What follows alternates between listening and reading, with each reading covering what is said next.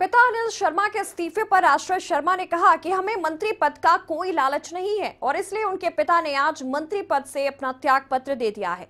आश्रय शर्मा ने कहा कि उनका परिवार मान सम्मान के लिए भाजपा में गया था, न कि मंत्री पद के लिए। आश्रय शर्मा ने यह भी कहा कि सीएम जयराम ठाकुर ने खुले मंच से कहा था कि अनिल शर्मा मंत्री पद के लिए बीजेपी में आए थे और मंत्री पद उन्होंने मांग कर किया था। आशा शर्मा ने यह भी कहा कि यह बात पूरी तरह से गलत है।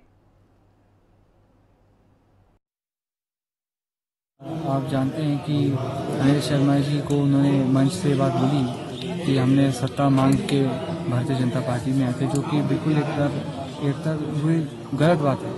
क्योंकि हम जो आए थे, हमने सिर्फ़ मान सम्मान के अलावा कुछ नहीं मांगा था। तो मंत्री पद पहले भी हमको नहीं चाहिए था। मान सम्मान चाहिए था और आज भी मान सम्मान के पीछे जो है मैं पत्री पद को अपना उन्होंने इस्तीफा दिया है त्याग पत्र दिया